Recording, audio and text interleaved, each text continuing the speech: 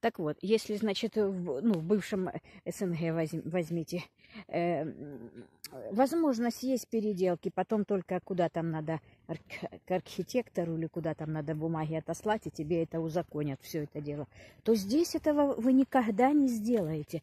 Даже если вы купили свою квартиру, то вы не имеете права там делать каких-то переделок. Кроме того, что там, э, ага, у вас был линолеум, вы положите ламинат. У вас были обои, вы их снимете, покрасите. А делать вот эту пере, пере, планировку, убирать какие-то несущие стены, э, все это, чтобы потом все это обвалилось. Видите, уже автобусы ходят. Вот, автобусы ходят. Жизнь началась нормальная. А то затишье вчера было. Вот. Поэтому вот такая вот разница между съемом квартиры участника и между съемом квартиры от города. У нас вот это вот и первая квартира трехкомнатная, когда мы приехали сюда, Юра ее брал в Хельсинки, это тоже был частник, но это была частная фирма. Это была частная фирма, которая имела дом четырехподъездный, восьмиэтажный. Вот, фирма. Потом, знаете, здесь еще какая есть ситуация. Вот этот вот дом, где мы жили потом в двухкомнатной, да, это тоже вот этот я вам говорила, Асунто Салку, оу, Значит, есть тут такое положение. 15 лет вы прожили в квартире, вам должны сделать капитальный ремонт. Ну, финны тоже научились э, уходить от всяких этих дел. Поэтому как? Вот, предположим, была фирма на Машу оформлена, потом, значит, Маша продает э, эту фирму Саше. Но на самом деле это родственники. Они просто поменяли хозяина. И поэтому, когда прошло 15 лет, например, 14 с половиной, подходит время ремонта, раз прежний хозяин по документам и продает эту фирму другому хозяину, то есть своему родственнику. И опять 15 лет вы можете смело э, содержать эту фирму, и вы не будете... О, собачка!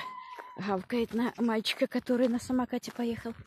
И вы не будете снова обязаны делать ремонт. И, и, и так вот будет до бесконечности. Потому что мы вот прожили там 16 лет в этой квартире. До нас женщина наша русская жила 4 года. Вот.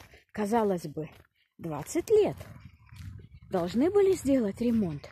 А напротив нашей квартиры женщина с Эстонии, но она русскоговорящая, медсестрой у нас в городской больнице работала. Она Зафина сюда замуж выходила еще до перестройки. Она уже лет 25, она потом развелась с этим мужем, ну так и осталась с сыном жить в этой квартире, у нее трехкомнатная была. Вот. Она лет 25 прожила, и не было ремонта. Вот. Ей сказали, хорошо, вы хотите ремонт? Да, пожалуйста, выселяйтесь полностью. Вот. Но оплачивайте. Вот, например, э, скажут, месяц будем делать ремонт.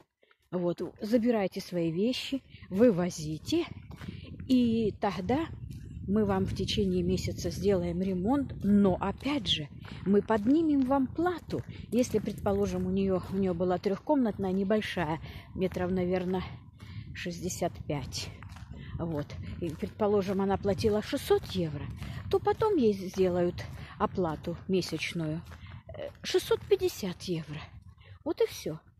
А вот когда это городская квартира, вот тоже одни наши приятели, мы, мы его тоже уже давно Славика нету, а Людмила так и живет в этой квартире. Они, значит, в том доме, где вот наш этот э, Жек, Аксели, они в том доме живут, так она и сейчас живет. И вот, значит, решили в этом доме делать капитальный ремонт.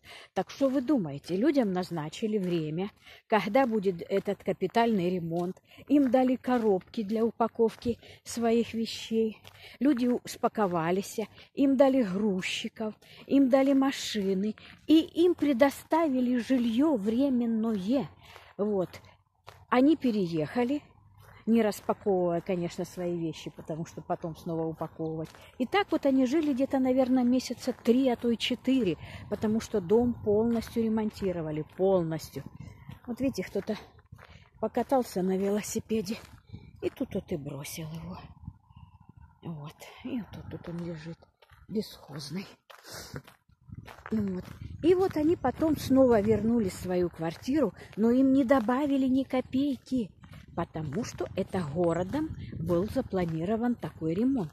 Там поменяли трубы, там поменяли, стояли ванны, поставили душевые кабинки. Ну, в общем, все, что посчитали нужным, они все сделали. Кухню полностью убрали, технику заменили, вот э, холодильники, печки, все это поставили новое. И денег за аренду не добавили. Вот это такая разница между съемом. Смотрите, какие бабочки летают красивые.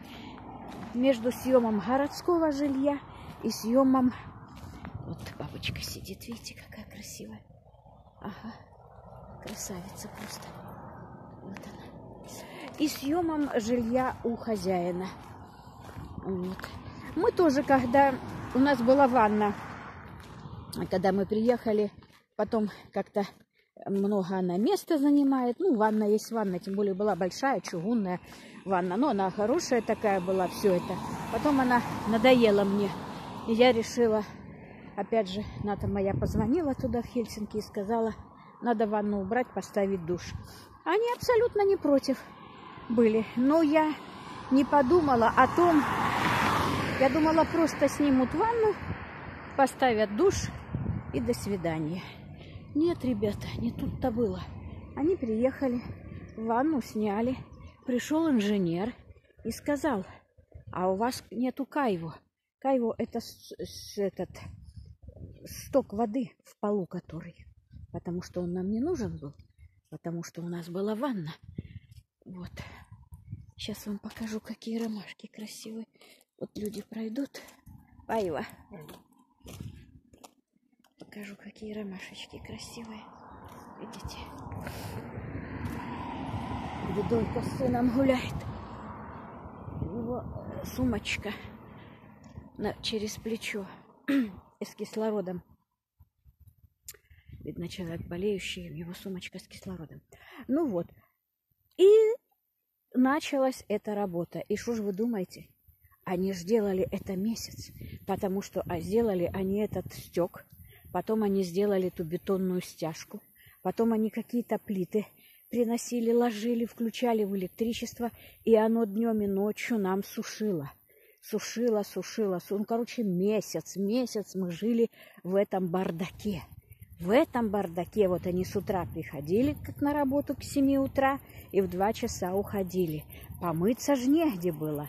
Я мылась на работе. Я утром, если у меня утренняя смена, значит, я раньше еду. Это было давно. Ой, это было сколько лет? 15 тому назад. Вот. Нет, не 15, лет 13. Ну, неважно. Я утром, значит, еду, я с 7 работала. Я еду раньше, иду в душ, моюсь, мою голову. Вот, и иду на работу. Если у меня вторая смена, значит, точно так же я иду это самое э, перед началом работы второй смены. Я иду сначала в душ или потом вот э, после э, отработанного дня, предположим, если у меня идет два выходных, значит, я отработала, иду на два выходных, я также пойду в этот самый, в душ. Но нам дали ключ от сауны. Ну, сауна у нас была не в нашем подъезде, а сауна была в соседнем подъезде.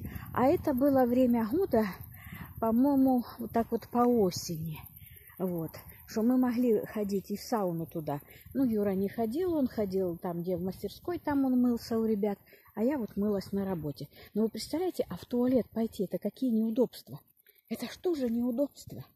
Это вот надо было э, постоянно что-то придумывать. Вот, они унитаз-то не снимали, унитаз стоял. В туалет можно было сходить, но они же там работают. Это каждый раз, вот если я, например, э, ну, утром я рано уходила, я могла сходить в туалет, там зубы почистить, все это дело сделать, вот, кроме того, только, только не помоешься. Вот. И потом, если у меня вторая смена, значит, мне точно так же надо было рано вставать, в 6 утра там или в полседьмого, пока они придут, все это привести себя в порядок, сходить в туалет. Ну а потом же, пока я в 11 выходила, ну мне же тоже захочется в туалет. Но я бегала в соседний подъезд, в эту сауну, ключ был, открывала. Вот, вот это вот так вот мы жили. Вот. Нам тоже не добавили никакой оплаты. Но если бы я знала, что это будет так э, утомительно, так это долго, я бы просто не, не решилась этого делать. Пусть бы стояла эта ванна, бог с ней. Гляньте, какие цветы красивые. Ой, как же они называются?